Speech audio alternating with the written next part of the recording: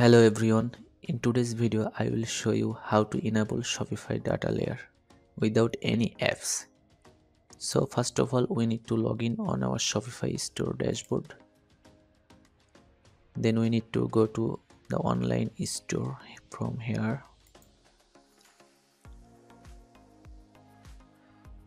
So now we need to go to the themes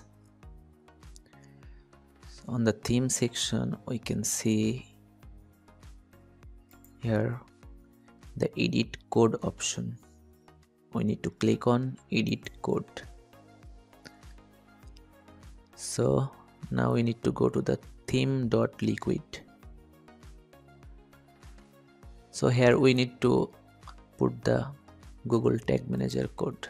So i'm going to google tag manager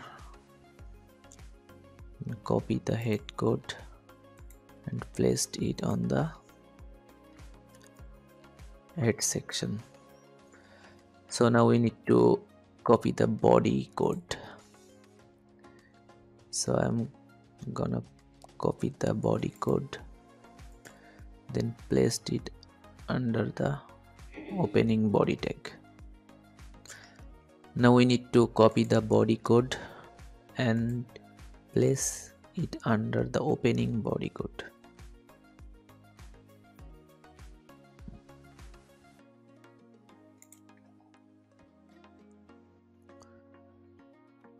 So I'm gonna place the body code under the opening body tag.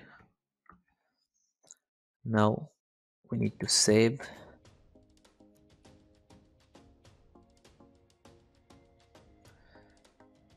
now we need to go to the snippet section. We have to create a new snippet here.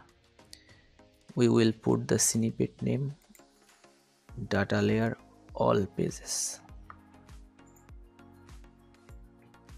Then we need to click on done.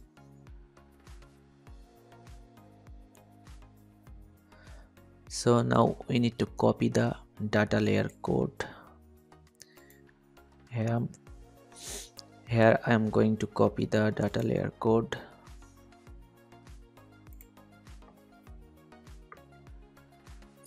And place it on the data layer all pages so one thing we need to replace the GTM container ID here. So I'm gonna copy the GTM ID and place it here. Now we need to click on save.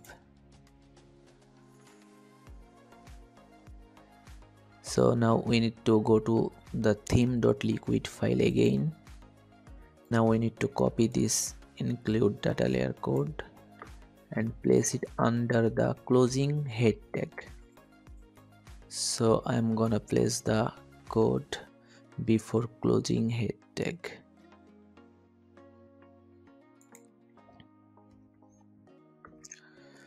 So now we need to click on save. So now we need to check the data layer code is working or not. We need to go to the google tag manager. Then we need to click on the preview button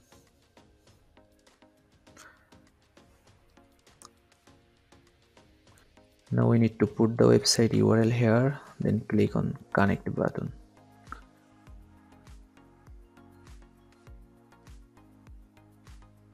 So the gtm is connected.